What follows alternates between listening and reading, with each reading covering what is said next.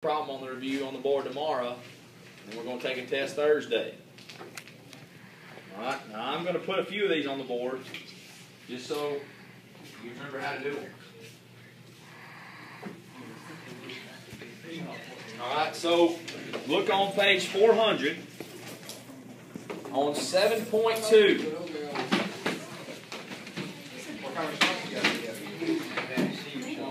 Gotta get you, you you yellow fever. I told her, where's the shot gonna be? In the butt and the orange in the arm? You know, three sides. You're not, he's gonna be out there nothing. No, it's I try my best. I better try your best every day.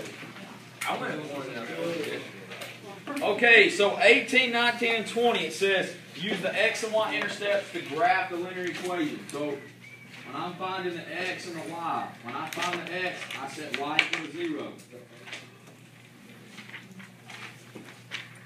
So I get 2x equals 4, divide by 2, so x equals 2. That's the x-intercept. Alright? The y-intercept, I say 2 times 0 plus y equals 4. That's 0, so y just equals 4. Alright, now I want you to graph it using the x and y intercept. So, x equals 2, put a point, and y equals 4, put a point, and you graph it. That's it for 18 through 20. Alright, 21 through 24. All we're doing is calculating the slope. Alright, you don't have to do anything else, just calculate the slope. What's the slope formula? Uh, it MX over or something like that? Uh, that's slope intercept. Oh, The slope formula in 30 and 21, we got 3, 2, and 5, 1. Alright? This is x1, y1, and this is x2, y2. So the slope formula, y2 minus y1, over x2 minus x1. Just plug it in. So y2 is 1 minus y2, or y1 is 2, all over x2, which is 5, minus x1, which is 3. 2 minus 1 is negative 1, 5 minus 3 is 2, so your slope's negative 1 half. Alright? Um, 25 through 28, you're just graphing it. Like 25, it's already in slope intercept form. All these are in slope intercept form. So, 25, what's 25 say? Y equals what? equals two x minus four. 2x minus 4. Well, 4 is your y-intercept. 2 is your slope. So I go down 4. Put a point. My slope, I'm going up 2 and over 1. Put another point and graph it. That's what we're doing on 25 through 28. They're all, those are already in slope intercept form. All right, 29 through 31. You have to put them in slope intercept. Then it wants you, well, if you put it in slope intercept and graph it, we're good. All right? Somebody read 31. 31. Three x plus two y equals four. So I'm going to solve for y because I want to get in terms of slope intercept. y equals mx plus b. Subtract 3x. I get 2y equals negative 3x plus 4. I divide everything by 2. So I get y equals negative 3 over 2x plus 2, where 2 is my y-intercept and negative 3 halves is my slope. So I graph it. So I go up 2. From there, I go down 3 to the right 2. Graph it.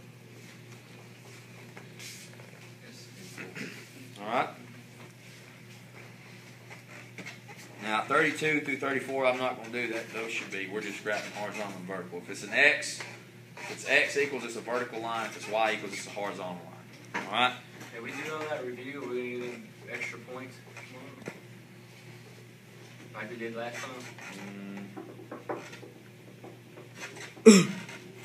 Yeah, I mean, it's great. You do, it, the review's great. We're turning it in tomorrow. You it a test grade too, like, Yeah, like it'll your be a bus hundred last? point grade. That's what I'm talking All right, I tell you what, scratch thirty-six through thirty-eight. Scratch it. All right, we didn't really talk about those Now, we did talk about forty-five through fifty-six. All right, on forty-five through forty-seven, it says solve each system by graphing. Well, what does forty-five say? X plus Y equals three X minus one. I have to put both of these in, in slope intercept form. Once I put them in slope intercept, I graph them. The point at which they cross is the solution to this system of equations. So I get x plus y equals 5, so subtract x. So y equals negative x plus 5. That's one I got to graph. And then 3x minus y equals 3. Subtract 3x. So negative y equals negative 3x plus 3. I don't want negative y, I want positive y, so we just change all the signs. So I get y equals 3x minus 3. So I graph both of these two.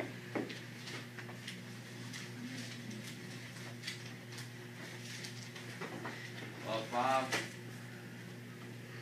Slope is negative 1, so down 1, right 1. There's one graph. There's this one. Alright, here I go down three, then up three over one. Graph that, that's the solution. Okay, that's forty-five through forty-seven. Put them in slope intercept, we've already graphed, so that shouldn't be a problem, and then the point where they meet, we just put a circle around it. Alright, forty-eight through fifty, it says solve by the substitution method. So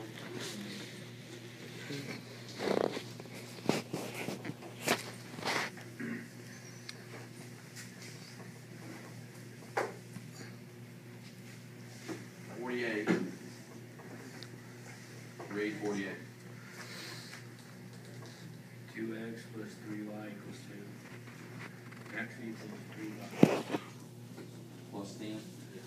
Alright, you have an equation solve for a variable. What? We have x. We have this bottom one solve for x, right?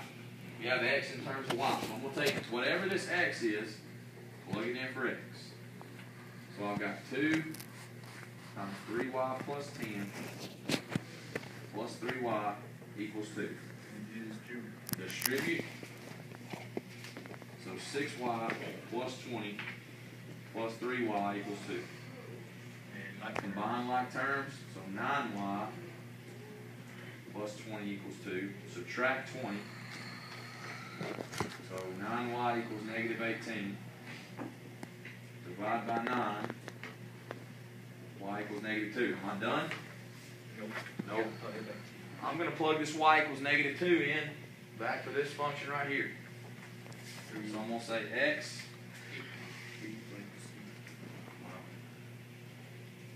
x equals three times negative two plus ten. So that's negative six plus ten, so x equals four. There's x, there's 1. Alright, that's how we use substitution. Alright? When we say addition method, okay, look at 51. We're trying to cancel a variable out by adding the two equations together.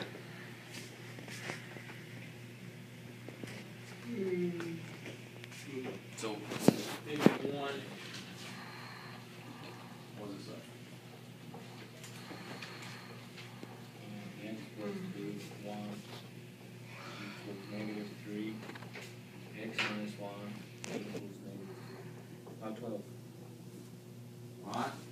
Seems like we have the same coefficients in x, right? They both have one as a coefficient. All we need is one of them to be negative one instead of positive one.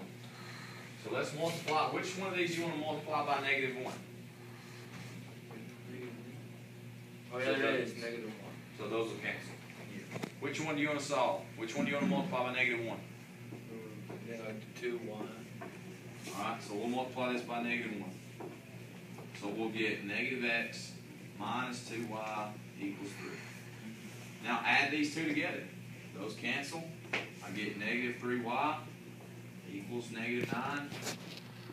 Divide by negative three. Y equals three. Alright, let's plug that back into the original equation. Right, you plug it into the top one, it don't matter. So we get x plus two times three equals negative three. X plus six equals negative three. Subtract six, you get x equals negative nine. There's x. There's All right, and then fifty-four through fifty-six. All you're doing there, you're just solving by any method you want to, like like 48, 51, or 45. You just pick which one you like the best and, and solve them that way. Okay? The last part is 7 6. Alright, so we have 59 through 65. We just the inequality. Uh, this is stuff that we've been doing the past couple days. What does 59 say?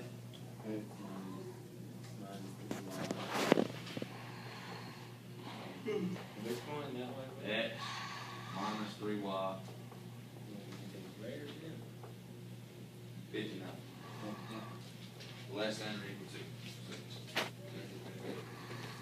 We still put in y equals mx plus b, we just have an inequality. So let's solve for y. So subtract x.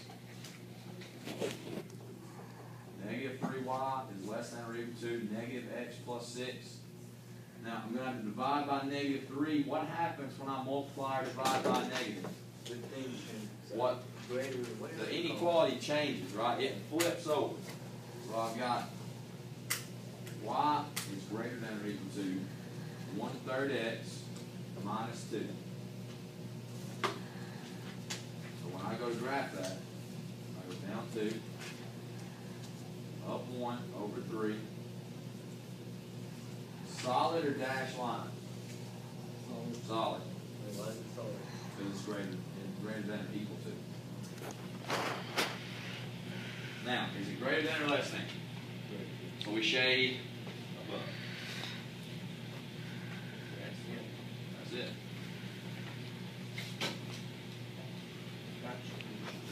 All right, 66 through 71.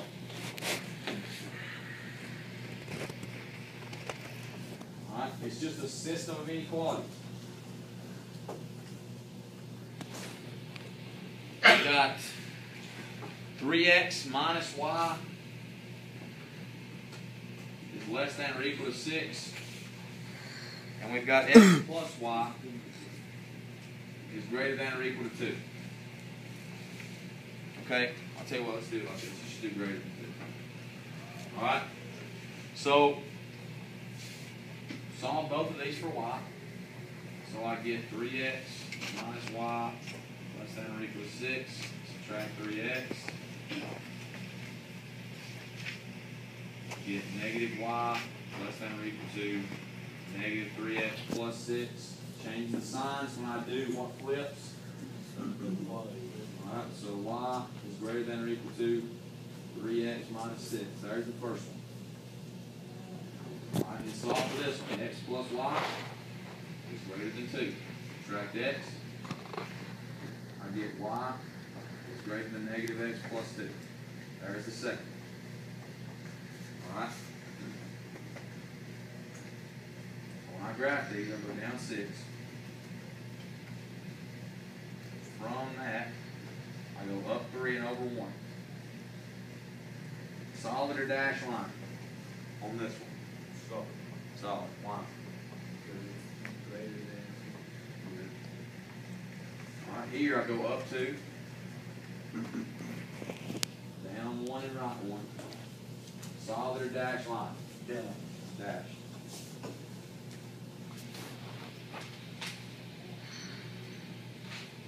Alright. What is this one? This is gonna be shaded where? Above or below? Why? Greater than or equal to. So we're shading it above. Where's this one gonna be shaded? Above, right? Because this is just greater than. So if they're both shaded above, that's where the solution will be, right?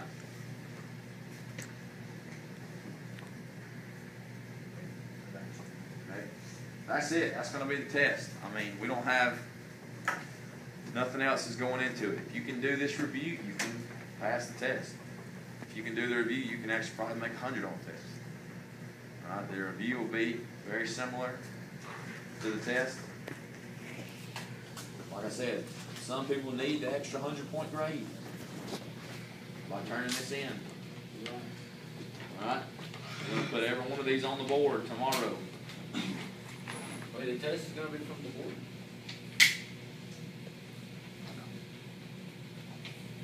So work on it in here today. Work on it in here today. You should get done. If you don't get done, you should get awful close. Alright, so you shouldn't have a lot of homework. What you don't do, you'll get. How long do you think it'll take to put the rest of these on the board? Thirty minutes, you think? So you'll get, what you don't finish in here today, you'll get ten minutes from the time the tardy bell rings to turn this in tomorrow. This is home. Well, yes and no. We don't. You're only getting ten minutes in here tomorrow to work on this, and then we're turning it in to be a hundred point grade. All right, I would take the time that you have today and, and try to finish it. I'll do. And you don't have homework regardless, but if you don't turn it in tomorrow, that's a hundred point grade. Or if you turn it in, it's not all the way done, you still don't get the hundred point grade. Does that make sense? Catch you, boss. Thanks.